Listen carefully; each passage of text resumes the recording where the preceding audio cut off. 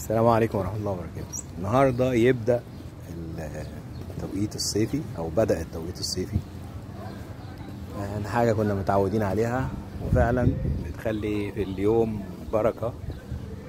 آه، النهار بيبقى أطول وساعة توفير كهرباء في ال- الحكومة بالذات يعني.